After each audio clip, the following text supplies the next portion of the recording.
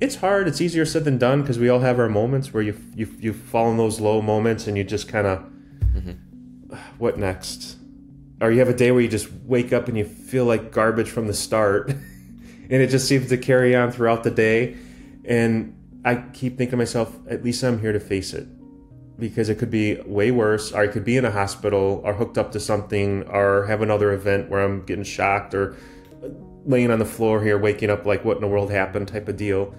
What's up there, everyone? Jellis here, the uh, founder of the Heart Warrior Project, uh, a fellow sudden cardiac arrest survivor, and your host here on the podcast. In this episode, I had I had the pleasure to welcome a guest that I mean it's been a while since we talked to each other, so it was really fun. But um, the first guest actually that was here on the podcast and that is none other than cardiac arrest survivor and heart warrior Jamey Bowden. So I invited Jamey because um, I have the idea of doing every year, you know, that I talked with someone a year later, to have them on the show again, to do a checkup episode. Uh, I mean, anyone who wants to, of course. And since Jamey was the first guest, he's also the first one to do this checkup episode. I really couldn't have wished for uh, someone better than Jamey to be the first guest and to also do this episode. Uh, because in the first episode, he shared so many great insights. And here as well, uh, he's not alone uh, just a really fun person to talk to and just an amazing person, but he does truly share a lot of great insights for other survivors listening. So, I uh, yeah, I'm excited about these episodes, and I do hope that you will find some meaning, support, or something else out of this, out of this episode. Now, to find any of the resources mentioned by me or by Jamey, as we did share uh, quite a few, then check out the show notes located in the description of this episode. Or you can also go directly to heartwarriorproject.com slash podcast and search for Jamey. With that, please enjoy this checkup episode with cardiac arrest survivor and heart warrior Jamey Bowden. Jamey, welcome back here to the podcast of the Heart Warrior Project. It's, I mean, it's been a year since we talked. That's crazy. Yeah, uh, thanks for having me again, Jellis. I appreciate yeah. it. Uh, yeah, it'll be a year in November, I think, but we recorded around the same time. Right. So, yeah. yeah. So about a year, so exactly. It, pretty much, which it went by really fast, but at the same yeah. time, it feels like it's. I'm like, wow, already a year. yeah. Yeah, it's crazy, right? Actually, I mean, I think the idea of having people that I talk to uh, about a year past, you know, it, it's cool to do this every year with someone that I had on the show, like a check in, which is a bit the idea here of this conversation that we're having, right? To see how things have been with you because I'm super curious to catch up. And plus, as sudden cardiac survivors, we a, a, year is a big deal, right? Because we celebrate it's our true. birthdays and you know anniversaries. Yep. So I think a year it's a great time to catch up and. See where we're all both at. You know, but yeah, I'm I'm ex- I'm excited. I'm looking forward to this. So I think it's a good thing and it's healthy to get yeah it is a connection again because I'm sure I think about some of my old stuff I talked about those things some of uh, have changed maybe some haven't but you know at least I can kind of update where I'm, I'm at myself too that makes sense right yeah yeah for sure yeah yeah so yeah um, so let me throw a first question at you you know to get this conversation started if you had to describe the last year uh, in one sentence what would it be? It can be more uh, than a couple than a sentence, right? But yeah, it's a challenging though for sure. I think this year's been the most challenging. How come? Uh, uh, as far as like for me and some of the things I've been through in the year, um, opposed to like the first year out, uh, that was more affected by the cardiac arrest.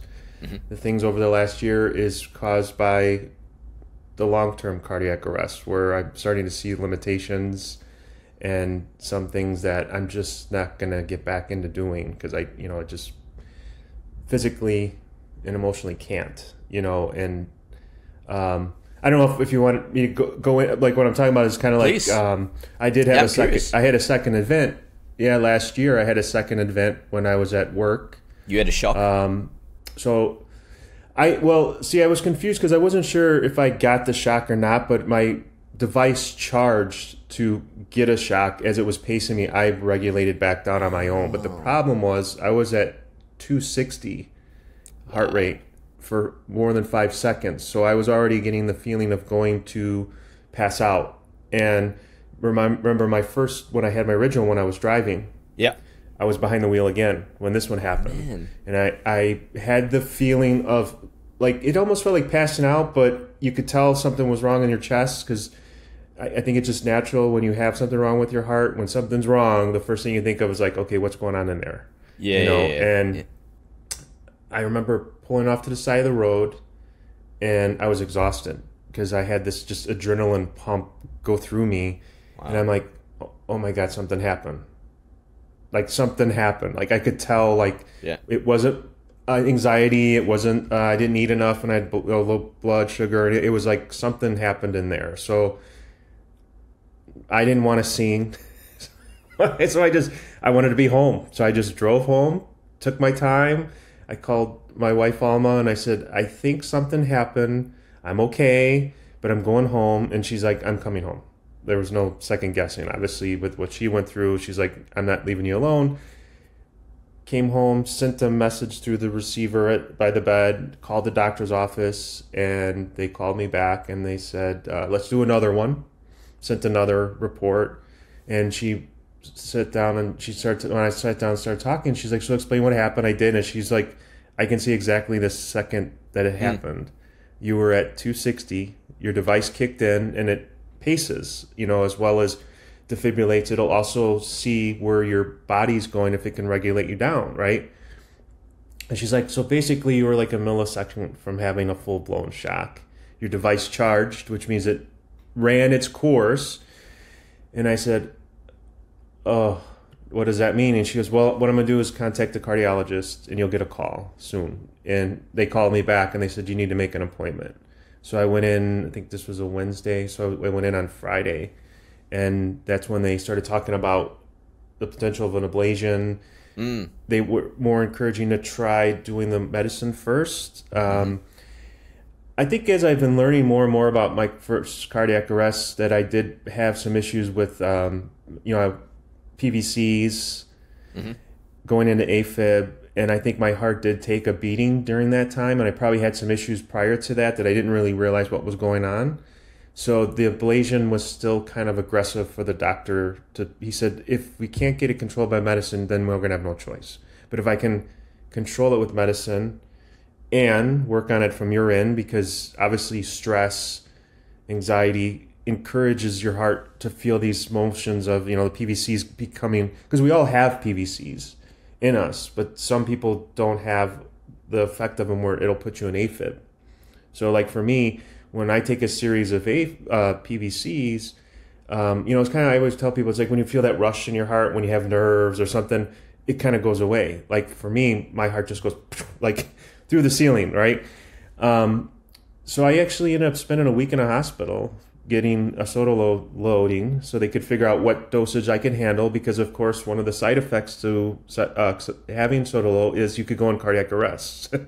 so they started the IV. This is crazy, by the a way. five day stay of I had Sotalol too, but they Oh. just gave it to me, and they were like, "Yeah, off you go." I didn't have Yeah, to spend you're, it. you're not the only one.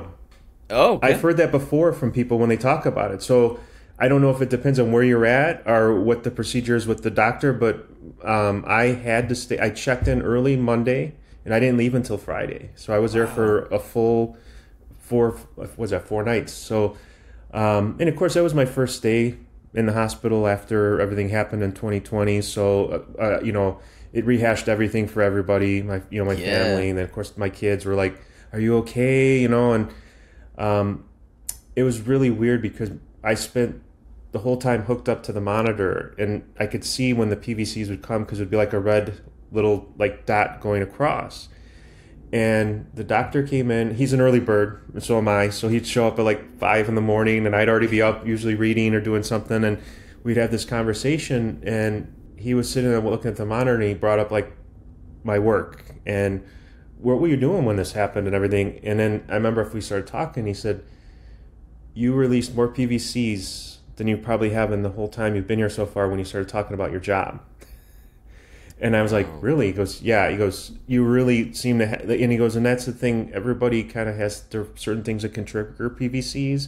It could be um, anger. Mm-hmm. It could be okay. when you get sad. It could be just that feeling of you know, oh, you, things are out of control, and eventually it affects your heart. You know, and so that was like my first conversation where I was thinking like, oh, I think things are going to change in my life here.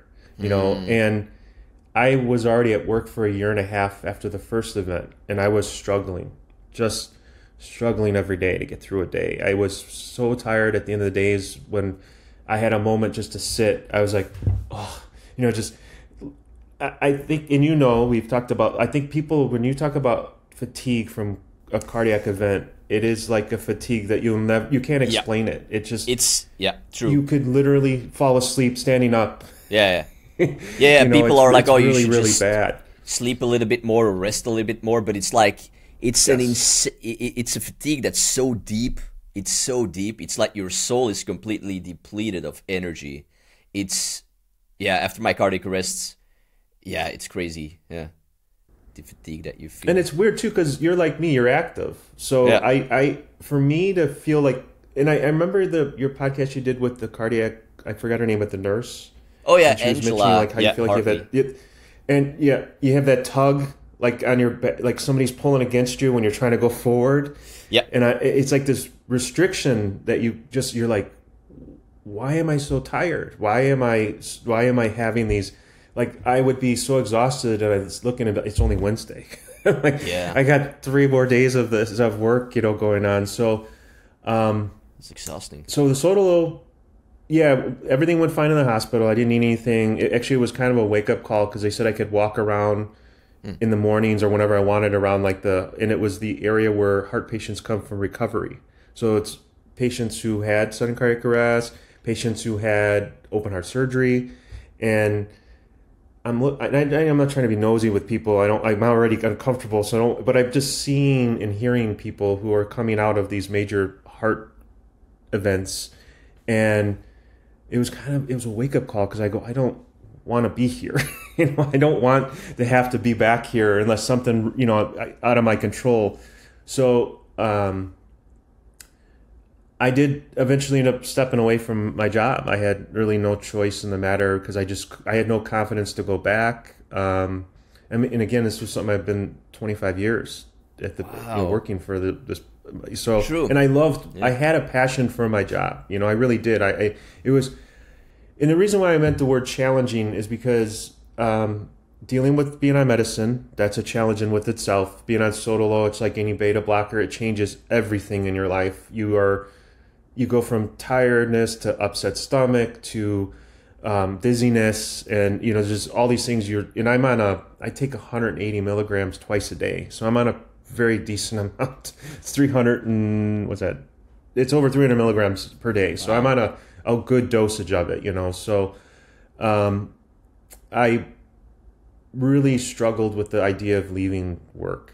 And I felt like I was losing an identity. And um, I, thankfully, yeah. I was really already in therapy. So I was talking to a therapist through all this. And it went from a range of anger mm. to sadness and I, I, I last time I we spoke, I I specifically said at the end, like I don't want sudden cardiac arrest to des- to describe or control my narrative. Like I didn't want it to be what I like. I want to control it more than I want it to control me. And at that point, I thought like it was winning because I'm like, I'm gonna leave something I've been doing. Yeah. I don't know what I'm gonna do with myself because I don't know if I even am I able to do a job because every job comes with stress and you know the, if yeah. we all knew a, a, happy place to work we would be there right where you you know so um, it was very challenging to myself and I think that was the difference was the first year or two I was trying to work on myself and work on family work on with Alma being a co-survivor and having to go through her doing what she had to do to keep me alive and this last year was a lot about me yeah. finding the new the new me and being okay with it and i thought to myself you know what if leaving my job gives me a better quality of life I'll figure things out. Mm-hmm. You know, I, I, I'm a faithful person. I believe a lot of this stuff is happening to me because of the God kept me alive and helped me get through what I should have been easily gone from, and it'll, be okay. But I have to make myself believe that, and that was hard. It wasn't easy by any means. I really struggled with it, and Yeah. last July was my official like it was I, am like done. I went in, I emptied out my desk, and you know, and it was kind of bittersweet, but it felt good. Like I really did feel like this is what I'm supposed to be doing. Um, and it's also kind of triggered a little bit of me too. Like I want to get more involved and get out there and kind of help others that are going through what we've been through, and you know, promote uh, having CPR training and AEDs around, and That's cool. not only having them around, but knowing how to use them and knowing yeah, that yeah. we're the result. Like we're the reason why those things are there because we are allowed to continue with life, you know? Yep. And sometimes when you hear that, people respond to it differently and they're more invested to want to get trained. And the fact that you might be most likely doing it to a loved one more so than a stranger, it's even that much more important because you want to feel like you can at least do your best to help instead of feeling like "I- don't know what to do. Like I'm watching, you know, I'm gonna somebody's there lifeless that I, I want to help, but I have no clue what to do. So um, I want to get more involved in that now, and I feel ready to because I was honestly I didn't know if I could even sit through a CPR class without having hmm. like ideas of freaking out because mm-hmm. I'm seeing exactly what was being done to me, even though I do not remember it, but I know what happened, you know, and.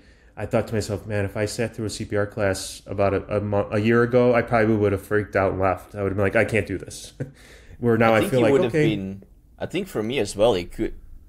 I actually want to do with the Heart Warrior project, like organize some CPR trainings, you know, with the Red Cross, Mm-hmm. for example, here in Belgium. But I'm also super curious to see how that would be, because I think it might be quite triggering, actually, in a way, to see that, yeah.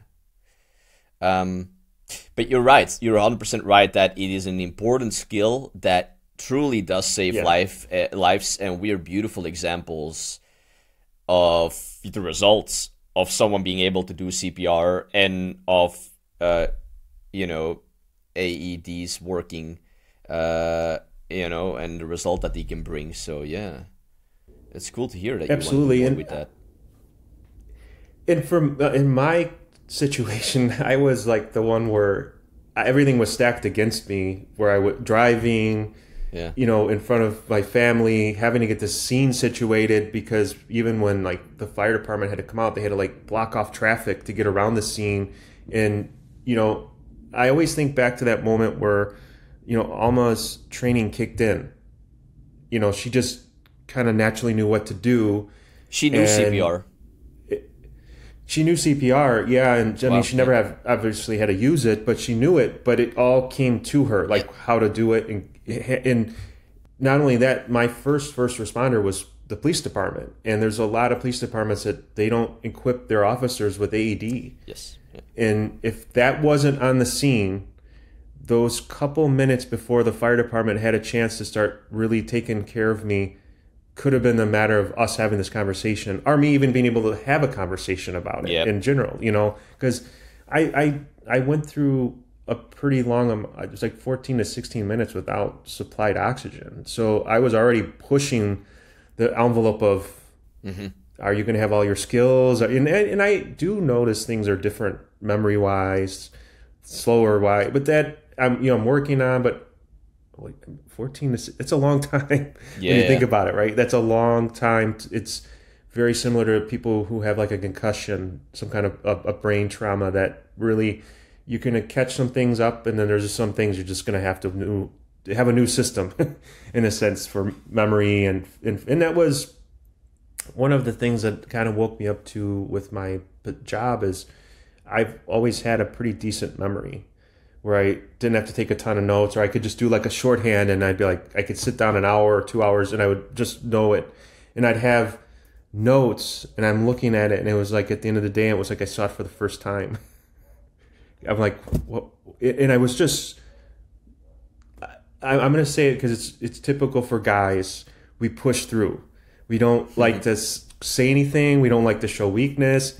Um, I was afraid to talk to you know Alma at the end of the day because I, I didn't want her to freak out every time I went to work that I was struggling, and I was also dealing with um, you know the PTSD of just getting out in general.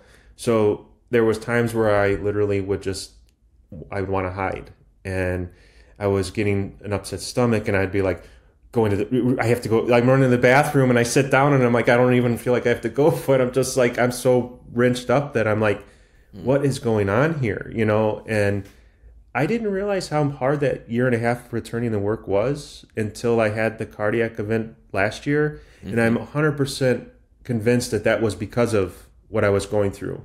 Mm. um, I was probably pushing the limits yeah. in order to have these PVCs, that this just complete nervousness that I was going through and fear that it in result did go to me having another cardiac event. And mm like the doctor said it once, twice. You don't want to push the third. And I was also driving again. And I and I did go about a block and a half driving where I don't remember driving because I was like wavering in that un- going unconscious feeling and I remember going back to that location and seeing how far I drove. And I saw kids running on a sidewalk, a bike, guy on a bike mm-hmm. riding his bicycle on a bike path. And I go, what would have stopped me from hitting one of them or ended up in somebody's living room?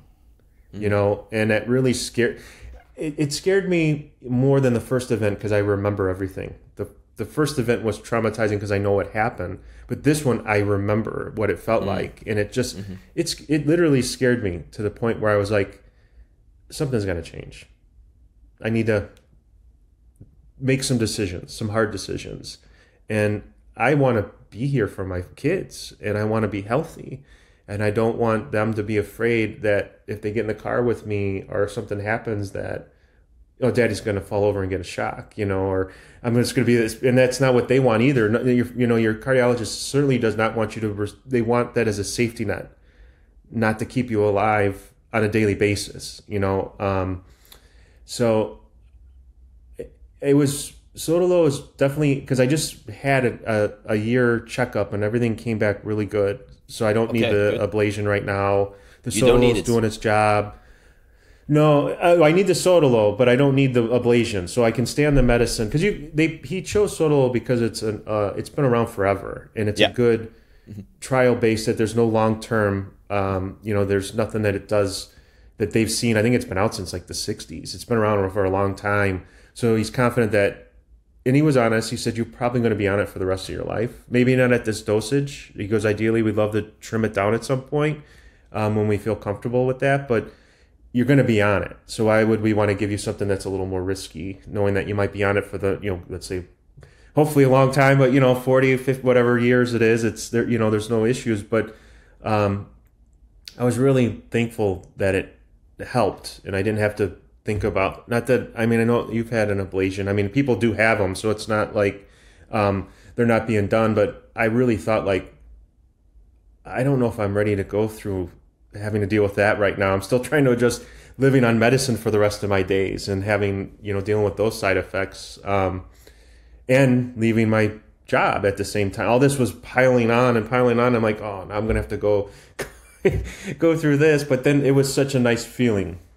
Often this actually is the case yeah. with with us, right? That something happens and there's a lot of things that we have to decide then you know, you get another yes. cardiac arrest or like the event that you had, and then all of a sudden, so many more things often have to change slightly. Uh, so we do often, if we deal with something, it's often like a pile of things at the same time. Uh, so wow, that's yeah. a lot of stuff that you had to go through, man. That's a lot. It, it, it was, and and I'll be honest with you, the therapy, faith, always helps. I always encourage somebody to whatever it is you believe in, find it and, and invest in that time to have that one on one because it truly does help. Yeah. Um, and I obviously family is always supportive because they're there with you through it when you know they know what's going on. But I I remember going into I had to wear the uh, monitor for the 48 hours, and going in getting that put on me. And I just started thinking, I'm like, man, I'm back to this again. Like that was my first thought. Like, oh, but I'm like, no, no, at least I'm going to try and get some answers. So Yeah. I you know I did the echo, and I, I'm laying there moving all these positions and put you know doing all this stuff, and I kept thinking to myself, well, that's this is my life now. I'll probably have to do this if not every year, at least every other year, uh, unless something else happens, of course, you know. And but I something clicked when I was in the hospital. I go, you know, at least I'm here to to face these things, opposed to not being here. Yeah. You know, um, because I I believe the stuff we go through kind of equips us to go through anything. Um, because Yeah. you really do, like you said, there's a lot thrown on your plate at one time, and a lot of decisions that you have to make. There's limitations that you feel, and you know, I'm older than you, but not I'm not ancient by any means. But to be, if I would have thought at your age, middle age, that I would be going through this stuff, I'd be like, you're crazy. I'm doing all the, I'm working out, I'm doing all the right things. That's not going to happen to me. And now I look at it like, you know what? I'm going to use that same motivation that I did to try and keep myself in shape in those years to just keep doing it beyond those years, just in a different way, hmm. you know. And it's hard. It's easier said than done because we all have our moments where you you you fall in those low moments and you just kind of, mm-hmm. what next? Or you have a day where you just wake up and you feel like garbage from the start, and it just seems to carry on throughout the day. And I keep thinking to myself, at least I'm here to face it because it could be way worse, or I could be in a hospital, or hooked up to something, or have another event where I'm getting shocked, or laying on the floor here, waking up like what in the world happened type of deal. But it's really hard to fall back on that sometimes because it is very challenging to Yeah. just your own natural will to keep going. Not that you feel like, oh, this is, you know, but just the idea of like, man, I'm just, I almost feel like I'm being pushed to the limit at times. So falling back on the word challenging, that's what it was like for this year. There was a lot of those moments where I was just like, uh, is it going to give me more stress to not be working? Is it going to give me more stress to feel like I felt like I just gave up? And it's like, well, no, I, I didn't because I didn't ask for any of this. I mm. It's happened. And the fact that I went from 2020 when I had it to 2022 with no events, I was one of the ones where they were still not even sure what even had happened. And then when I started getting more educated on the whole idea of PVCs and how that affects going into AFib, and the fact that when somebody does have an AFib event where they do go into sudden cardiac arrest, PVCs are like poison sometimes to the heart. Like it really will make that heart just go into a point where it just locks up, and you're in you're you're going like that's you know so, and that's where they don't want they don't want me to be at. They don't want any when they when I heard the 260 number of my heart rate, um, my literally my heart dropped. I was like, wow, like I could see like oh so we were near 200. you just blew right by that. you know, you're just amping it, and that's where like I I was hearing the words where they felt like um, the lower chamber of my heart might have had a little damage because of some of the, you know, that's not healthy for your heart to take that stress.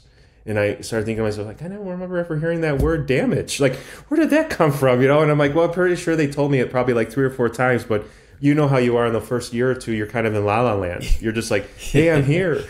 I'm, I'm alive. Thank you. You know, and it's like, Yeah.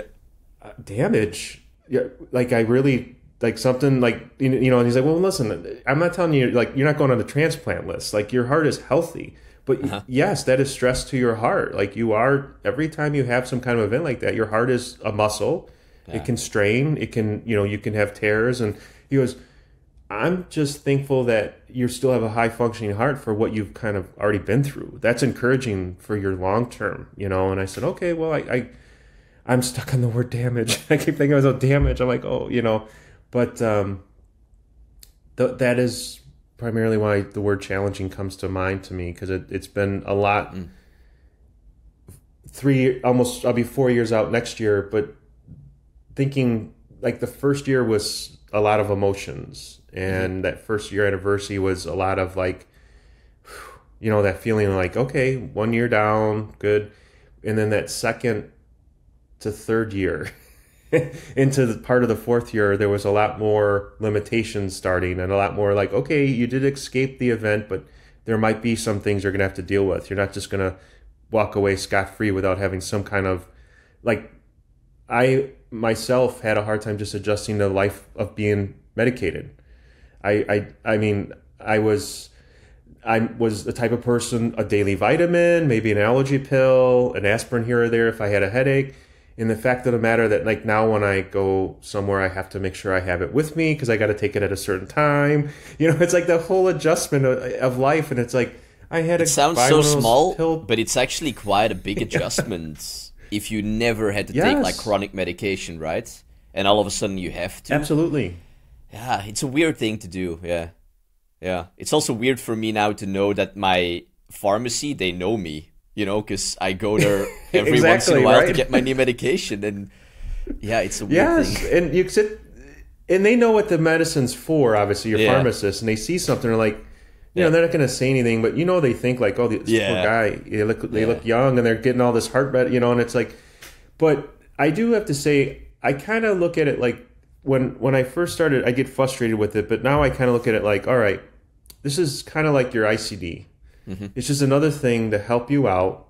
And, uh, you know, especially when you have a good doctor you trust, mm-hmm. you know that this is the things that they're doing to keep you from having the best or keep you to have the best long-term care because that's the goal is like they just want you they don't want you in the cardiologist's office all the time they don't want you to call all the time they want you to feel like you can live now, are there going to be some hurdles? Sure, but there's help out there for that, you know, and um, it, uh, restrictions. Sure, there's going to be some, but you'll know what they are. I mean, people always say like with an ICD, do you ever feel like you can't lift weights? And it's like, well, yeah, you can, but you just know your limitations. You know, if something hurts or feels wrong, you stop.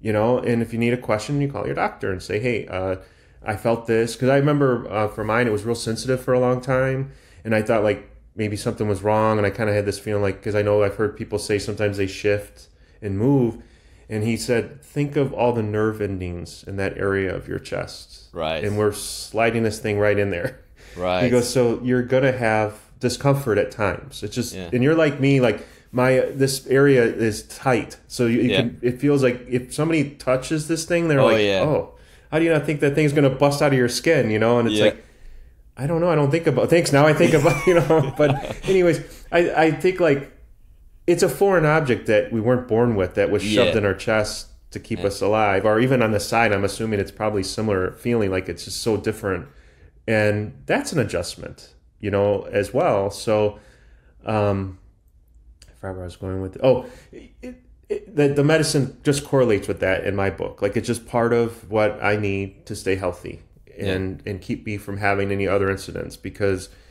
Um, you know i mean you had a shock so you you know like when the device does its job it's a scary feeling and it's an alerting feeling because the, the icd will only do something if something's wrong and that and that's a fact unless it's something wrong with it like the device itself is wrong but if it's kicking in to do something to you it means something's going on in that in your heart that it needs a, a, a jolt a change, whatever's going on. So there's no like, oh, you got a shock for fun. You know, it's it's doing something because it's trying to correct something. You know, and I guess that's part of the reasons why they're such a complicated device because of the fact of what they really truly can do.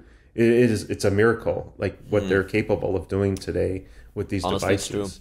Yep. So, yeah, it is. I mean, it, for every time I go and have you oh, know, like it is still weird for me to see my ICD, and I think it's always going to be a bit weird when I see it in the morning. Uh, but now that I had a you know a shock uh, like a couple of months mm-hmm. ago, it was not fun. But at the same time, I feel like I trust it more even now, like because I know yes. okay, it will do its job. It's there for me. It really works. It's again not fun, but it did its job, and that's pretty good to know that it works actually. It is, and, and yeah, it saved my life. So yeah, and it's a tiny yeah, device in the end, so that's pretty impressive for yeah, all that it can do. It is very impressive what it can do. Yes, yeah. I. I'm, i feel bad. I can't remember the name of the gentleman that you interviewed from Wales. Um, Oof. Okay, it's on the. How, how, do, how did really, he look? Um, from Wales, I, he, I I'm bad with the place. Uh, was it uh, Ellen? Yeah. Yes, Alan. Alan Owen. He had a great idea. Yes, when he talked about naming it, you know, and he said like you kind of build oh, a yeah, relationship with your ICD. Yeah. Yeah, you know, and I thought that's a great idea. I haven't named mine yet, but when I heard Same. that, I said, Yeah. the, the idea of having a relationship with it is is Mm. crucial because it is a part. It goes wherever you go, right? And Yeah. it's better to have a relationship where you trust it and know Mm-hmm. it's there for right reasons more so than concentrating on the fact of it being there for the wrong reasons. And I, I and I, I do get the fear of people when they talk about the worry of being shocked because you truly might not know when it's coming, but chances are when it's gonna do its job, you're gonna know because something's gonna be wrong or you're gonna feel wrong or something you know is happening to you. So it's not like you're you should, unless you're in a certain environment maybe or something where it's being affected. But again, that's the the fault of the device doing something that's not supposed to be more so than the idea when it's doing what it's supposed to. You know, um, but it's hard to come to that term at times because you do have a constant tug with that that idea of like is what is this thing like really like uh, you know it's uncomfortable at times like you know sleep I, Yeah. i'm a side sleeper and sleeping on my Oh, left yeah. is the biggest pain in the world you know and Same. Same. um, but yeah. it, it, again, though, it's like, well, it's there to save my life, Yeah. and and that's what's important. So I can deal with. I, you know, one of the things too, I um, say I don't know if it's as big because you're on. You guys drive on the other side, right? and in your cars, are they? we drive on the right side. from here.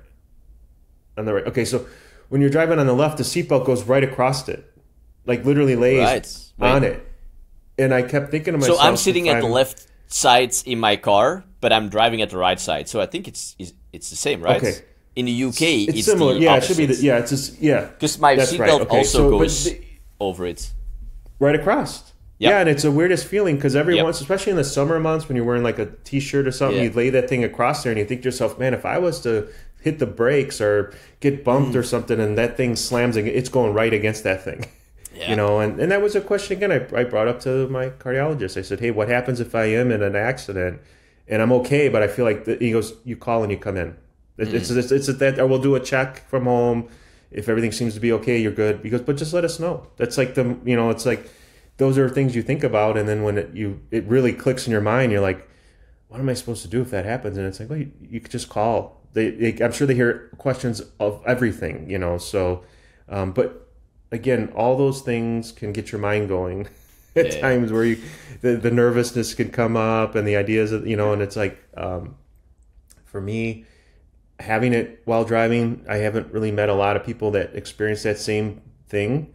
And they think like your natural thing is like, oh, you should be frightened as all get out to drive. And it's like, driving's been challenging, but honestly, when I got in the same car we used to have where I had it, it didn't even click until I thought about it that I even had it in this car because I wasn't conscious. I had no clue of it. You know, my concern was the first time I drove with the kids and Alma in the car again, because then that brought it all back to where like, oh man, what if it go? What if this happens again when they're all here? You know, and that was just things that I was building in my mind as part of the whole, you know, PTSD and fear and uh, you know just stuff you're going through because of the result of the trauma. You know, and um, I'm still working on some things like distance driving and you know traveling things like that. But I'm way better at this point to where I was before. And again, patience with yourself is the key because I could get mad at myself on everything if I really wanted to. But then I think, hey, you know, I was able to go out, run errands. I never had a moment where I'm like, just get me the hell out of here. You know, I'm just I'm just pushing through it, and I get home and I it's like a normal trip. You know, and I go rewind two years ago. Hmm. that would have been an event, and I would have probably been like one stop going home. Hmm. I'm good. I pushed myself, you know, and it is time, you know, that to get through some of those things. It just takes time and patience. Hey, my apologies for interrupting the conversation. It will just take a moment. If you like the conversation so far and would like to support the Heart Warrior project, check out the truly awesome looking t-shirts and mugs I created together with an illustrator for fellow Heart Warriors. My goal in creating the t-shirts and mugs was to create something that would help me feel more empowered in the battle that surviving this cardiac arrest has been, and well, still is in many ways to show not only the world but also myself the heart warrior that that I have become.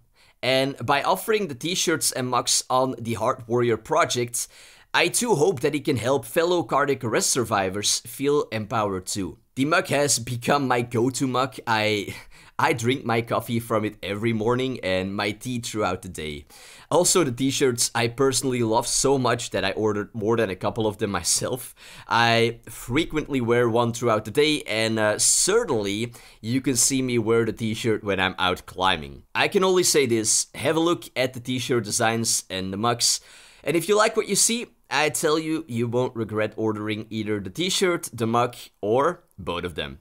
Not only will you have a fitting mug and or t-shirt for your current lifestyle, but You'll also be supporting the Heart Warrior project and help me to continue doing this. In the description of this episode, you can find a link that will take you to the page where you can order both the t-shirt and the mug, or you can also go directly to heartwarriorproject.com to find it. Alright, thanks for taking a moment to listen. Now let's return to the conversation. Yeah, and don't underestimate all the things that you've already done, Jamey. You know, I mean, from what you've gone through, what we all go through, you know. We, yeah. Like we're doing a pretty good like most of us are doing a really good job on putting things together and, and still living life kind of close to normal and I, I feel like you're doing that and that's actually a huge huge achievement in a lot of ways for all the changes that has happened well, so thank you for that because yeah that means a lot to hear that honestly anytime i can hear that from somebody especially like you and i because we've spoken to each other about where we were, like you said, a year ago. And yep. um, it, it's having the support system is huge. Having others that have been through it helps tremendously as well because it can actually. I think one of the first things I said to you when we first spoke last year is like you're the first person that can honestly say, mm. "I know what you feel." Yeah. you know, I've heard it millions of times, and I go, "Well, I don't know. I didn't go through it," you know. But it's like you could say yeah. that to me, and I could say, "You know what? You're right absolutely you're right. We have different situations maybe post wise because of different things, but we all had sudden cardiac arrest as being the link all. Like we all passed at one time, needed to be resuscitated back to life, and that that's yeah, and the, all the other stuff right, right, there that we, we, all share. We have the ICD. Mm-hmm. We you know we take medication, different ICD, ones, but all those changes we can talk about that because yeah I'm going through a similar situation like you and like anyone else dealing with all this. And uh, honestly, support from fellow cardiac arrest survivors has been my number one thing that has helped me. And family, you know, as well, but not on the level talking to people like you, for example. So, yeah. So, I mean, and I, I want to give yeah. you real, real quick. I just want to give you some props because of this this project has not only been therapeutic for a lot of people that have watched the videos, and we, you know, obviously see people have viewed them. Um, but like for me personally, I've bonded with like three of the two of the others that have done videos. I think one will probably do one in the future, but um, that's awesome. And we kind of have like this camaraderie where it's a friendship and it's also therapy, and you know we can awesome. pretty much ask anything within each other because we've all done it yeah. or been there, and you know. So and it's because of you starting this. That, that well, is that's amazing to it to it all. So what you're doing is helping and working and it and I'm I'm blessed to be the first, but I'm even more blessed that we have like a friendship now and it, it's it's helping mm. you, it helps me, it helps the others that I speak to and I think it really does people watch and mm. if anything it opens our eyes to realize that what we're going through you aren't alone and people uh, do need help whether it's they do it on their own and the video helps or it links them to say like you know maybe it is time i go talk to somebody or something but i just want to give you props to that you really really are doing a beautiful thing here so you should be um, proud of that Jellis. i didn't even really know should. that so that's actually amazing that that you know yes came out of this and I mean, I have to say also, like, this project would have been nothing without people like you, like, you know, coming on this project and talking with me. So, it's not just me in the end who did this, right? So you're uh, a big reason for all this too. So I yeah. appreciate that. Thank you. That thank you. That I appreciate, and you made it easy. So when, when I saw you post, it was like a calling to me. Like I got to get a hold of him. Like we, I, this is what I've been kind of probably needing as well. So um, I think it was just God puts things in you know perspective for us, and it definitely brought us together. So I appreciate it. So I just want to make sure you know that because I think sometimes it gets forgotten because I know like mm. we probably don't see the behind the scenes work that you're doing and the stuff that yeah. you know. Yeah. Um, it, mm. When you talk to people, kind of might rehash things for you as well, you know, because I know sometimes for me, like I'll talk to somebody that has been through it and I'll think to myself, wow, I can remember doing that, or maybe I, I didn't have it like that, but can I now? Like, am I having the, you know, so it does kind of work both ways where sometimes you kind of, I don't say can put you in a depression, but it can make you sometimes work in a, in an area where you are around things that could make you feel that way, you know, in a sense. Yeah. So, but uh, it's been really positive, like for me, as far as the doors it's opened and the people I've talked to and uh, connected with and you know, for me, my story is it's like really Alma's story because she's the one that kept me alive to be able to share it. But if it can help one person, yeah, then I'll share it all I have to share it, and I'll and I'll keep sharing it. You know, so it's important to get that out there. I think it's healthy for some to share. It's not for everybody. I get it. Some mm. people are, you know, no, I'm I'm done with talking about it. or I don't want to, but sure, I think it helps more than it hurts for sure. Yeah, yeah. So thank yeah. you. Yeah, I mean, thank you for, sh- for, for saying that actually, or for sharing that with me now. That's that's actually awesome to hear. Yeah, that's really awesome. Good. So it's good to see a smile. I'm happy to do that. So. Go ahead. Yeah. So your, I mean, you know, year has been challenging. If you had to say it in one sentence, mm-hmm. it sounds like it has been a really challenging year. Let me, you know, throw one more or another question at you. Mm-hmm. Um, mm-hmm. Is there actually anything that has gotten easier since the last time that we spoke? Um, yeah, the, so I don't like to use the word normal because I think it's like it's a trigger word for some people, but it's let's just say that the word is required because that's what we're kind of all going towards is some kind of a normal. I have way better good days than I do bad for sure. And okay. I'm able to do I feel like I'm able to live more with just things I struggled with, with like going to sporting events with my kids, watching things in crowds. You know, I, I still have challenges with it at times, but I'm able to do it. And mm. so overall, there's the positive of it is I feel like my life is going forward and I am seeing myself do things that I probably back in the year I looked at it like, wow, that's so far away to think about going on a road trip or uh, you know, even like visiting family that's far. Like I thought, like oh, I'm never gonna make it to the house, but now it's like you know I can see myself doing that, and I, I want yeah. to now. Like I'm, I feel that not that I can't, I can, which hmm. um, that feels good. So yeah, that's a positive. I think I'm definitely having better good days than bad days. Okay, awesome. I mean, there has been yeah. real progress. That's really good to see, actually, right? Or to feel.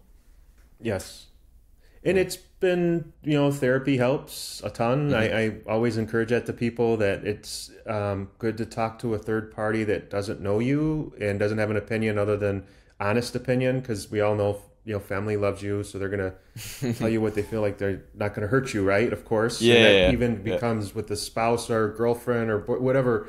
They're yeah. they they you can say things to a limit. Um, but it's always nice to have somebody that is just looking at it from the outside in and can give you whether it's techniques to help mm-hmm. references um, pat you on the back because i'll be honest with you i needed that a lot because i would come into the therapy session mad at the world and then they would stop yeah. me in my tracks and go okay let's look at what you have done yeah. and have accomplished mm-hmm. opposed to what you're not doing. And then you're like oh you know what? You're right. And those help you a lot. It's again we are the worst critics on ourselves. We really are. And you throw sudden cardiac arrest in the middle of it it just messes everything up. Yeah. there isn't a, there isn't a, a like a, a, a cheat sheet or a, a, guide or an outline to deal with that because i no. know um, unless you see somebody who has therapy that's actually gone through sudden cardiac arrest, one of the first things they're going to say is like, "Well, I don't know exactly what you've been through, but we do deal with trauma, or we've dealt with PTSD, mm-hmm. and these things is what we." And, and you kind of connect the dots. You realize that oh, my PTSD might have been triggered by the sudden cardiac event, but some people's had it from a car accident or military, and you know, there's so many different ways you can deal with it. I think the key is though is identifying it, like really knowing that you need it, like you need the help, you're struggling talk to somebody or Yeah. reach out or something, you know, because you don't want to. Doing things alone can be very dangerous in, in general, but you, you do True. sometimes need that outside resources to kind of help you with things and put a light on it. I think is the best way to really look at it. Somebody needs to put a light on the situation Yeah. to where you see like, okay, I am doing some positives and I am having some things that are negative, but the positives are moving me. And that's what I need to concentrate on and work on. And uh, I don't know, like, I, I will say one thing that's changed a lot in life from after having some, my patience with a lot of things is way shorter than it used to be. And sometimes that overlaps to loved ones because I see things in the public today and I shake my head and I go, man, I wish they would realize how precious life truly is and how much time they're wasting with negative energy. And then I sometimes spiral it to a, somebody who is a friend or a loved one, and I look at them the same way and I say something completely out of line, and I think to myself, oh, I'm sorry, but I don't have time for that like anymore in my life. I don't dwell on those type of things, and that's a hard adjustment because Yeah. it's not a matter of being rude; it's just a matter of being real about it. Yeah. Like you do really, we get to peek behind the curtain, and Mm-hmm. we do realize that life is a snap of the fingers, and it's really precious. You know, Actually, many uh, cardiac arrest survivors that I had on the show mentioned this as well that their lack of patience on things like this has shortened as well. And which, in a way, you could say makes a lot of sense, right? We were so close to never being here again. So why waste, yeah, time on things that don't matter And- that much? And it's funny because the word waste is such a trigger word, and it kind of I get why people would get mad if you said that to them. I would be mad like if I didn't have it and somebody told me that they had it. I'd be like, oh, okay, so apparently I'm not important to you. But hmm. at the same time, we look at things so different in life because even though when we go to sleep, we know we're probably going to wake up the next morning, right? It- it- chan- per- percentages are you are. We all know that, mm-hmm. right? But when you take a moment to see something and you look at it, there's a part of the back of your mind that tells you this might be the last time I might see that. So I'm going to take it in Yeah. just because I want to, because I just you don't know, right? And that's a very powerful thing because it it fuels a lot of gratitude, Yeah. but it also feels a lot of, of fear and anger, and you you know you you you look back at old pictures and see things, and you're like, "Ah, like I, I wish I I want to be there, I want to do that, and it's like, well, am I going to be able to? And then mm. you think to yourself, well, I at least did, and I can when the time's right. You know, Yeah. and that's important to know that. Like it and, and you know what? You're going to do it and it's going to be a thousand times better than the first time. Because you're going to see mm. it under this new this new light. You're going to be like i'll just reference it like seeing the grand canyon. Now it's one of the most beautiful natural things you could see. It's unbelievable. And i could tell you right now if i went to go see it today i would stand there and be in tears. Mm-hmm. Because i would think to myself how beautiful this is that i'm allowed this extra time to enjoy Yeah. that. And that's a powerful thing to say and really think about because it is true. It's not me just putting it on a you know a t-shirt. It's that's the mm-hmm. way the cards were dealt with me in my life to see things now. Is that it's just such a treat to have this bonus time, and I hope it's a long bonus time. You know, I don't Same know. I mean, you, we all you know Yeah. it could be it could be anything, but I just hope that I appreciate it and and and earn everything afterwards and don't take advantage of it, you know. And there's going to be days where yeah, you're in no mood and you, you look at because you know I'm a I'm, I'm a journaler, so I like to like recap some of my things and catch things that have gratitude and I you know I'll put it in the journal and I'll look at the end of the day and I'll think to myself, oh, I didn't put anything really much positive. But then I think, okay, well, that was what today was. Like now I see that and I can go to bed with a positive and, you know, and I can't, I, I'm not, I did not create this, so I can't take credit for it. But I, I remember hearing that somebody said that the, we have so many thoughts in a day. It's like thousands and thousands, right? And the only one we really can control is the first in the morning and the last at night. And that's really the two that we can actually get up in the morning positive Yeah. even Yeah. though it might be a five second positive and then all of a sudden you look at your phone and you're like ah, you know the date but Yeah. it's still that moment and you can do the same thing before you go to bed you know and i've used that a lot in therapy for myself has been gratitude. I'm, I, I, I, you know, I share them every once in a while with the photos just because I feel like if somebody sees something, maybe it helps their day, you know. Um, but it, there are true moments in my life that I take a pause, and I'm mm. really, really, truly grateful for being allowed to have the second time, and having extra time opposed to not having it is a hard thing to process, but it's a beautiful thing, you know. And as you know, it's not always rainbows and flowers. There's days where you're sitting there going, "Really, is this what my life is going to look like for the next yeah. whatever yeah. years I've got?" But at least we're here to take those challenges on. And yeah, hey, we survived something that ninety percent of the people don't, you know, and we kind of sometimes forget that because we're in communities where the everybody there is majority survivors. And we see like their stories and we hear and then every once in a while one will come in there where it's like i lost so and so to sudden cardiac arrest. And it's really like a gut check because you're like mm. wow most people aren't surviving. And hopefully we're improving on that number. We're all everybody's trying to do their best to improve on that number but the majority of people still they don't make it. And no. that's and you don't hear from them because they're you know, gone right? So yeah Exactly, and usually the family members, some of them yeah. stay active and want to still be in, but most deal with it because they don't want to see the other stories, and they kind of yeah. go, you know, they they some share it, which I love to see because I think it's strong to do that, you know, and it is. You always have to know the other side because that's mm-hmm. the reality of it all. Is that the majority, you know, you look at ten people, nine of them are going to drop and not be saved, or be in a situation where they can't be saved and that one person's going to be the one that either was in the right place, the right time, or all of the above, and they had the right equipment to keep them going. And that's, I'll tell you a quick story. We, when the lottery gets high around here, I'm like any other fool. I try to, you know, okay, I'm going to play it. Why not? And my son, he's 12, and he uh-huh. goes, Hey, what would you do if you did win the lottery? Uh-huh. And I kind of stopped and I looked at him. I said, Well, technically, I already did because I'm alive. Yeah. And he's he goes, well, what do you mean? I said, well, my odds were like yours stacked against us to survive, and we're here. So mm. I did win the lottery in a sense, but this is just fun. you know, I, I don't know what I would do if I would win all that money. I I would probably freak out, but at the same time, I'm already grateful for yeah, yeah. being alive, right? Yeah. Of, of something that I you really statistically shouldn't have survived. Yeah. You know, um, and he laughed. And he goes, "Yeah, I guess you're right. I, I don't. You know, he's 12, so he's kind of like, I don't think of it that way. But I guess you did defy the odds." And I said, "Well, I did with a lot of help.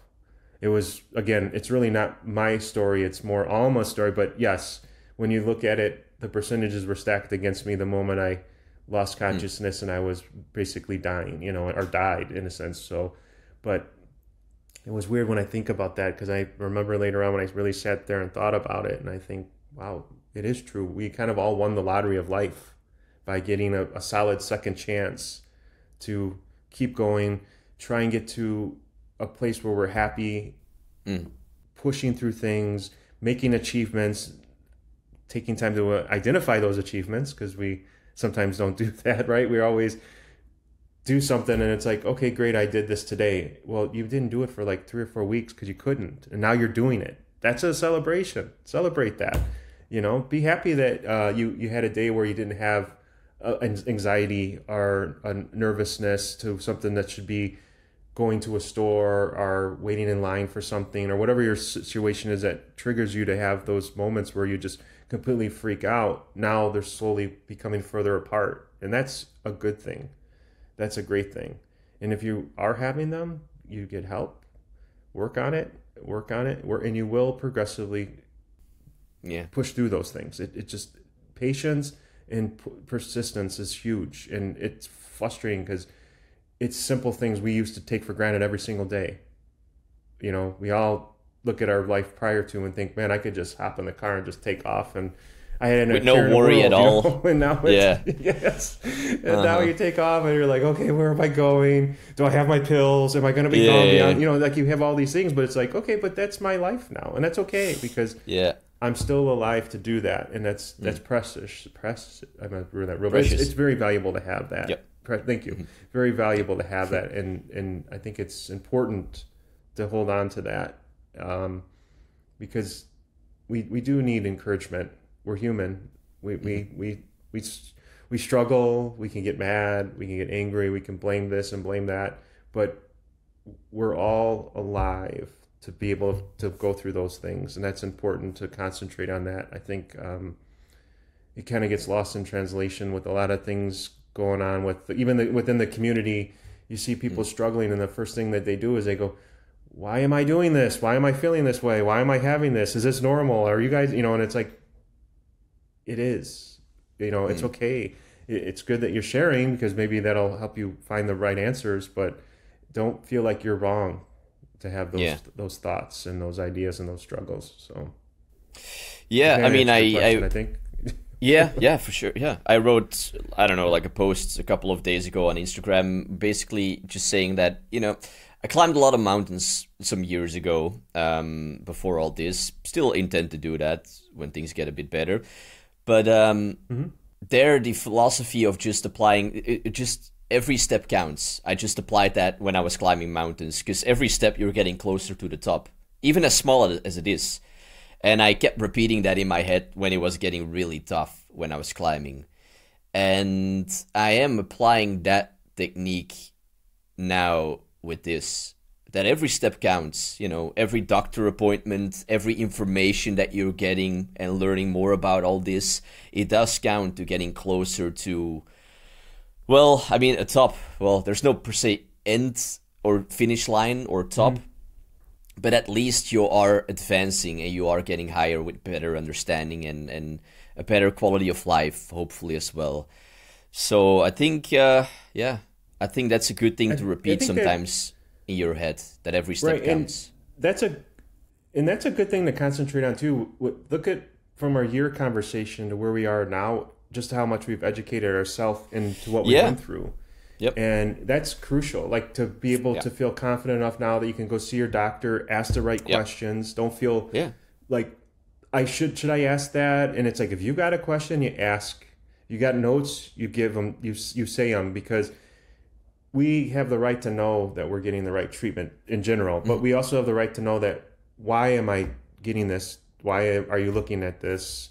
You know yep. why is this number concerning you know type of thing because we want to know like honestly like when i heard about like the whole thing about like pvcs i, I have no clue what they're even talking about and then you know they gave me some information they kind of explained it and again you know when you talk about cardiac lingo it's so complicated sometimes to put there's acronyms and all yeah you know you're just kind of like yeah. and i you know and they, i said give me a good source to look at that you would want me to look at, you know, and they mm-hmm. a lot of times I'll say like Mayo Clinic. Mayo Clinic's obviously world renowned, yep. you know, and when you start reading stuff and you learn about things, you realize, okay, now I kind of get it. Now I understand why when those happen, my heart does what it does.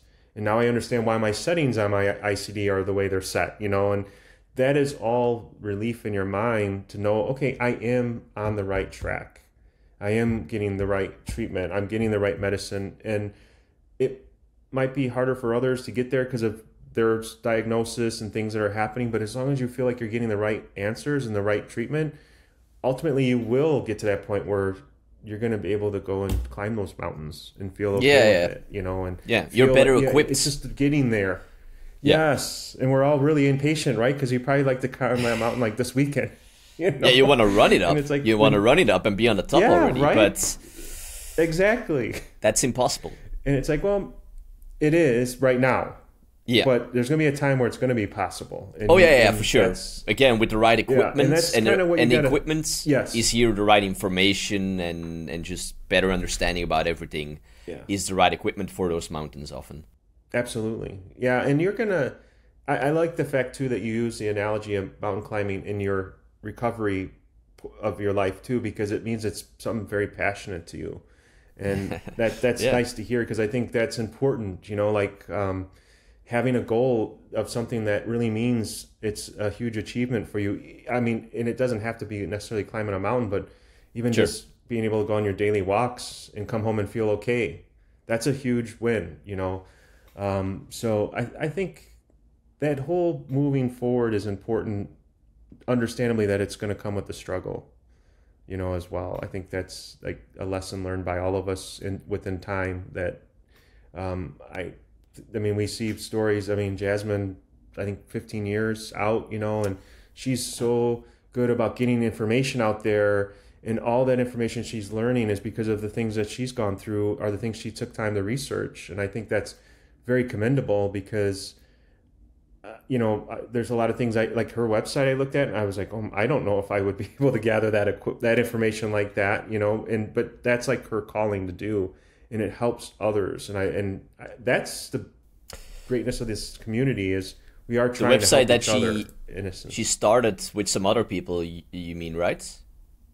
Yes. Yeah. Uh, how I is it called it's, uh, again? um hearts hearts some mint no. I'm gonna feel bad because i yeah it's not same my favorites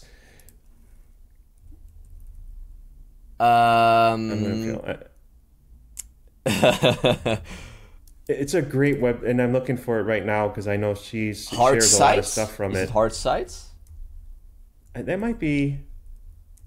I Oh, I feel apologize so if she bad now for that this, too. and we're, we're gonna look like goofball. A hearts oh is heart it- site. You're right. Yeah. Heart, yeah heart yeah site. oh, okay there we go You're- so I, actually right.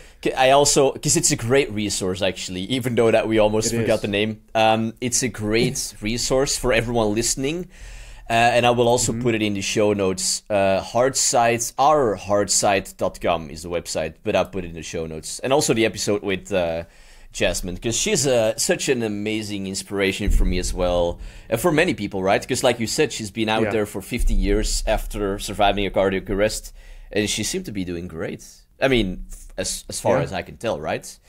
Um, Right. very knowledgeable. Like getting the information out there. Yeah. That Yeah. like you can definitely feel confident when you talk to her about something that she either has researched it or been there and done it herself or both. You know, and that's really comforting. And it's nice that she's willing to share that. Which I, I again, that's such a gift to have a person like that out there. You know, and I uh, the other one too is like Hard Charged. Those.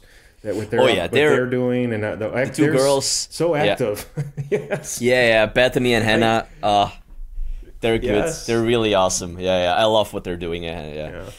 Yeah, you were also a bit more involved the- in what they did, right? Or they interviewed you yeah or they something? shared or... my They no, shared they just shared my story. They we yeah we, we were kind of like messaging back and forth, and they brought up October being Cardiac Awareness a month, and uh, I said you know they offered if I could you know if they could do my of course like I'm like ancient to them. They're you know, they're they're like social media, you know, and I'm like sure uh, I can. You want to give me what you want because I'll send you like this probably 10 page you, yeah, so they gave me some questions and answered and they just this beautiful post that was been out there and shared and you know so i i couldn't be more thankful and it was really on their end to initiate it. I just provided the information and the picture. I mean that was really my my role in it. And uh i thought it was nice that they did that because um i like we've switched from before but for me like my story is for me to share to help others. And um, I'll keep telling it as long as somebody wants to listen to it on Yeah. the road that I went from the day it happened to where I'm at right now. Um, and if it helps somebody, great. If it gives them another opportunity to say, "Hey, look, this guy had it while he was driving," there are people that have it in situations that they're afraid of. You know, because I do know that that's one of the fears a lot of people have post cardiac arrest is driving in general. They worry about what happens if I get shocked while I'm operating a vehicle or, you know, what- whatever situation. And it, it I guess it kind of deviates that to know like, well, there are people who had actual cardiac arrest without a device and survived. Granted, my situation would be perfect to have that happen, but it does happen to people, you know. So, but uh, yeah. Well, I'm so glad Casa for- is another one. Uh, yeah, yeah, Oh, yeah. I was just yeah. saying, is another good one. They have some great, great webinars and uh, Yes. Yeah. great information out there as, as well. And they've got survivors out there 20 plus years and have Mm. an active community of doing things as well. So there's a, there's help out there, information out there, you know, and just getting it out there to help out is passing it around is important. I think kind of collaborating Yeah. as much as we can. Definitely. Get the yeah, there's a couple of new people. ones like the Casa and the Heart Site, right? Yeah. Yeah. Uh, there's a couple of There's new ones that one, I exactly that's good to see. Did I die? I think there's one like that as well, where it's like uh, it's another Facebook page and it's a little more personal, more for survivors. Ah, okay. Did I die? Which is a good one. I think it's a, again. I'm gonna look like a goof when they look this when they watch it because you just click on things. I never memorized anything, but it's it's a. Oh, but did you die and then sudden cardiac arrest survivors only? I think that's the one, right? Yes. Yes, yeah. ah, that's okay. a good one as well. It's a little more, ah, cool. a little more okay. personal because it's mostly, you know, it is actual um, survivors of cardiac arrest. Kind of like how they have some co-survivors where it's just strictly co-survivors. Um, mm. But it, it's all starting and getting mm-hmm. more information out there and finding it and passing it on and sharing it. So I, I think that's the key to all of us living life forward post sudden cardiac mm. arrest. You know, is to Agree. have a community work together and. I, I'm glad we did this because of the fact that it's a good check in for a year, and I'm looking forward to seeing myself now. Yeah. Opposed to what I was before. Not that there was any wrong with that before, but I, I do know and I can tell just by our conversation is there's a lot more uh, positives mm-hmm. than it mm-hmm. was me kind of talking about things that I was going through at that time. So, um, and there's some things in there that's real because mm-hmm.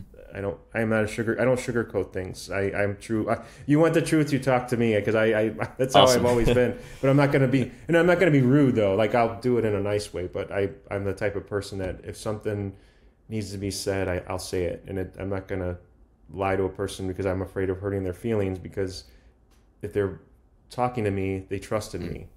So yeah. I need to be honest with them as well, you know. So Well, I appreciate but, yeah, the honesty that you've shared here, you know, in this conversation. And uh, yeah, again, the resources that you just mentioned, I will link them up in the show notes for everyone listening.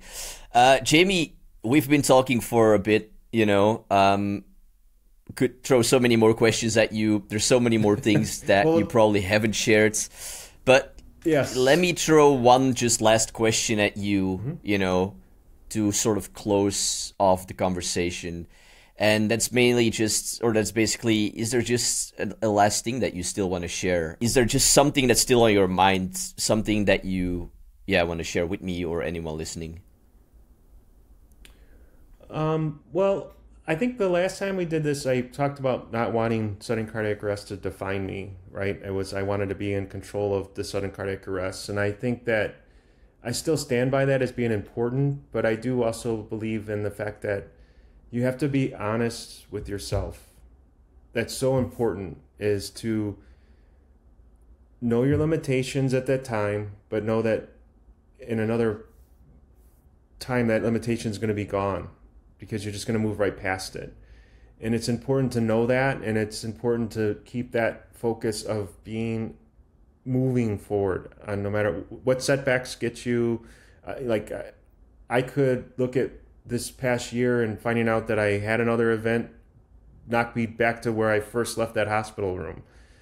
But I just kind of felt like, okay, I got to get through this. I got to move past it. I got to keep going. I got to, and that's in, that would be my one thing I would tell anybody that's gone through it, whether it's the day you leave or you're year out, 10 years out, whatever it is, is that moving forward is really what's important. Um, health, healthy wise, you know, uh, you want to do it in the right way, but moving forward is the key to life post again the new normal i'm air quoting because i the word normal but the new normal of the new person that you are after you kind of a good friend of mine said that we almost need to have a service for the old person because you kind of need to bury them because that's the old you before, right. and this is the new you afterwards. That's Joe huh. Fisher, so I'm going to give him credit for it because he's the one. Oh yeah, I had that. him on the show um, here too. Oh, okay. Yeah. Yes. Yeah. All he, right. He, Shout said out that him. in a conversation. Yeah. It's, so awesome. it's a beautiful way to. It's and we would only understand that if you told yeah. that to somebody who didn't go through cardiac arrest. They'd be like, "Wow, that's it would really be like dark. weird." That's a, yeah, yeah, yeah, and it's like no, it's actually true because yeah. you really kind of have to bury that old person uh, aside and move forward to this new person you are today, and you're going to be for the rest of your life because you're not. That could actually be a really gonna... beautiful thing to do in a way to let go of your past self and and mm-hmm. to release maybe a lot of sadness that we're holding on to. That could be a really beautiful thing actually to do with a couple of people who had also cardiac arrest. I don't know. Yeah, okay, and, that's okay. Cool idea. Uh, it's a great statement, and Joe said it, so I can't take credit for it. But it sunk with me when the way he brought that up, and I thought to myself, like, yeah, you have to remember that person is somebody completely different than what you were, and maybe there's glimpses of things you might do that you remember prior, but you're you're really doing things differently afterwards. It's a new, fresh slate in a sense, you know, and that's hard to admit to some because I think uh, I, I, was guilty of it too, especially initially. Like I kept wanting to see like, oh, I'm gonna be like that old Jamey that could do this and do that, and and I'd Same. stop from doing it, and I would get mad yeah. at myself and like, what is wrong? But that's because yeah. of the fact that you're starting differently now, and yeah. it's not the same as the person you were prior to sudden cardiac arrest. So mm. I think that makes sense. Yeah. Yeah. But, yeah. Absolutely. I think that's what I would it's a that's a huge thing to remember and just be be kind to yourself. Be okay with struggles and having fears and having questions about things that you think are off the wall. Ask them. Um, mm-hmm. Educate yourself the best you can with good sources, of course. But you know, just sure push forward with all that you can, and things will happen. Because I I really truly think that's the point where you're at where you feel like you're not gonna go anywhere with it, and it's like as soon as little things start moving forward, next thing you yeah. know, more things happen, and now you're looking back and you're like, man, I remember that time when I couldn't even go to the grocery store without having a, a you know a episode of nerves or uh, PTSD would keep me from you know just leaving the house in general, you know, and it's like now you do something and you don't give yourself credit for it. It's like that's a heck of an accomplishment Mm. So reward yeah. yourself every once in a while. Pat yourself on the back and be positive because it does rub off on other areas when you're positive about things, you know. So, and don't forget about your co-survivors. They're important. Agreed. They have to be along with the journey. A hundred percent, they have to be along with the journey. It, especially if it's a spouse or a girlfriend, boyfriend, yeah. whatever, a loved one. They they have to be in the loop as much as possible because they're going through their own stuff.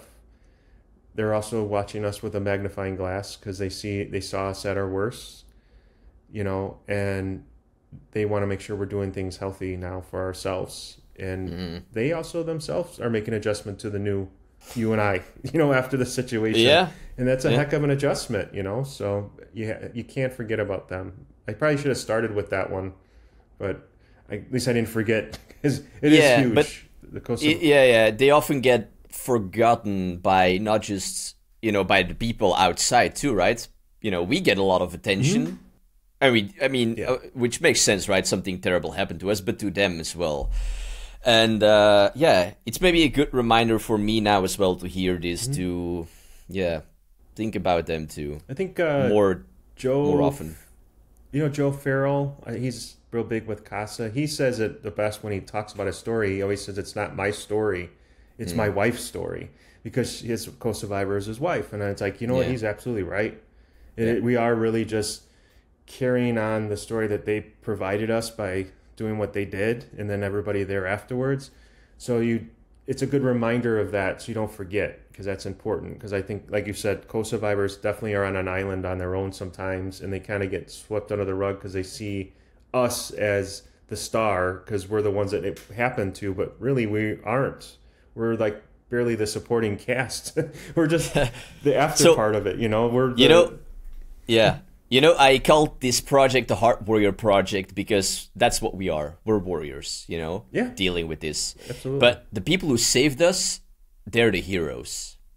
We're the warriors and they're the heroes, you know they saved lives, they saved this life, and we're the ones now battling on with all this.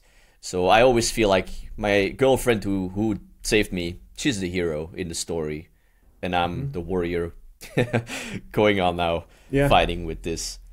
And the same for you, right? And it, yeah, and, and we forget that at times that they're along for that ride because we feel like yeah. we're the only ones experiencing it, and it's really uh, sometimes I think our struggles are even harder on them than it is on ourselves.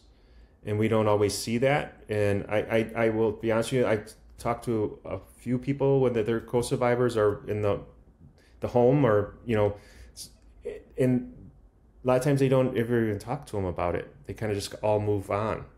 mm. and they never really sit down together whether it's through therapy or just a Yeah. conversation and really just It's important. talk about Yeah. yeah what what Very important. what yeah what do you think after what happened or what are you seeing right now that's going on in me from the outside you know and those it's those are hard conversations you know they're, they're not easy and not everybody is an open book to want to talk about things but it it's you can't forget that Yeah. they're very important to be along the ride. And we get to, you know, when you, I know that you haven't met the first responders yet, but like when you meet the first responders, like for me, like when I met the, the police officer and the fire department, they're getting, like, their reward is to see me. Their work saved my life, but they're going to do that to hundreds from that point on. Knock on wood, Alma will never have to do that again to anybody. You know, I hope, I would, I really hope she never, but she had to do it once, and that's one time too many in a sense. Mm. That's when you too- think about yeah, it, yeah, yeah. that's that's a lot, like for a person to take it on and have to carry that. So, um, I, I I really that's actually I'm glad I thought about that when we were talking about that. Like the co-survivors are very important to remember Yeah. in all of this because they easily do get forgotten, and it's like anything in life. It's not healthy when you don't communicate, right? Isn't that like the first thing people say in like counseling with couples is, "Did you guys talk about this?" And it's like, yeah. Communication. well, no, Yeah. right? Or you did when you were arguing and it came out all wrong, Yeah. or you know. So, but it's important to have that, you know, Yeah. and, and not forget it. But it's also easy to forget it because we got a lot on our plates too, you know. Of Um, course, right? We shouldn't be hard now on ourselves. That it's sometimes, yeah. that we need reminded of that. But thank you for reminding me, for everyone listening, about that as well. Yeah, Jamey, That's thank important. you for you know for taking the time here to sit again down with me and to do this conversation and to share, you know, all that has happened or parts of what has happened since last time that we talked. So thank you. Well, thank you for having me again. I appreciate. it. I like being the first of everything for you. That's I think that's my role. is Yeah. Whenever we do for the first time, I'm I'm always game to do it. Um, Awesome, So it was nice to have a, a catch Yeah. up like this. I think it, it was healthy for both of us to talk again. And I mean, we do Yeah. communicate, but you know, face to face, it's different. Like the face to face we can do because we're we're, you know, Yeah. distancing. But it's uh it's nice to see you and know that Same. okay, we're all doing okay. We're here. Yeah, know? we're still here. Thing. So Yeah. yes, exactly. So, but I appreciate it. Thank you. And that concludes my conversation with cardiac arrest survivor and heart warrior Jamey Bowden. I hope that you gained something out of this episode.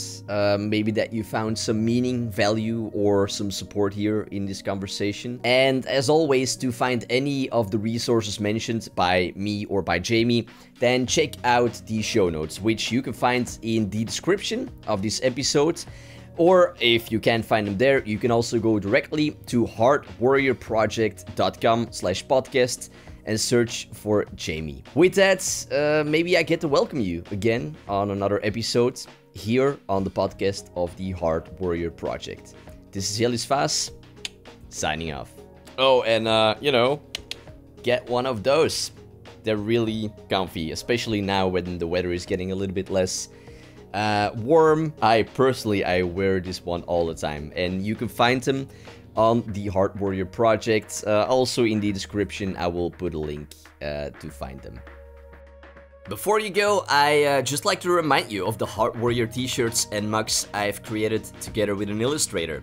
If you're looking for a fitting t-shirt or mug that will not only show the battle you fought and are still fighting, but also something for yourself to wear and use that will make you feel empowered, these t-shirts and mugs will be a great addition to your life. It certainly has been true for me. Additionally, you will also be supporting the Heart Warrior Project which will help me to keep this project running. Now, if the t-shirts or mug doesn't speak to you, but you want to support the project, we also accept donations. You can find more info about all this by going to the description of this episode. There you can find a link to where you can order the t-shirts and mugs, as well as other ways to support this project. Or you can go directly to heartwarriorproject.com to find this information.